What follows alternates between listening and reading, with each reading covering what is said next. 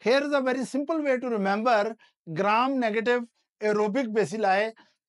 Number one, that we can remember Sudanese people eat extra spicy kebab.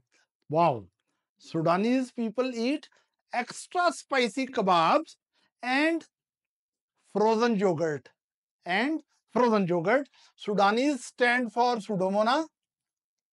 Pseudomonas aeruginosa. People should remind you Proteus. And it should remind you E. coli. Extra should remind you Enterobacter. Yes, Enterobacter spicy. S should remember you, remind you Serratia. And kebabs, the K should remind you Klebsiella. Klebsiella.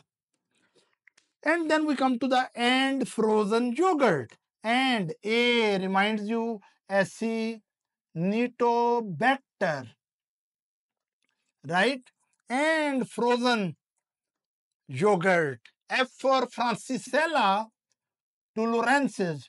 Tularensis, which are bacilli, And yogurt should remind you of Yersinia pestis.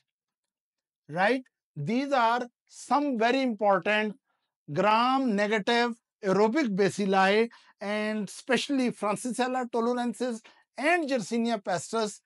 All of them are gram negative aerobic bacilli and especially, but there is a little important thing that Francisella tularensis and Yersinia pestis, they are bacilli. Thank you.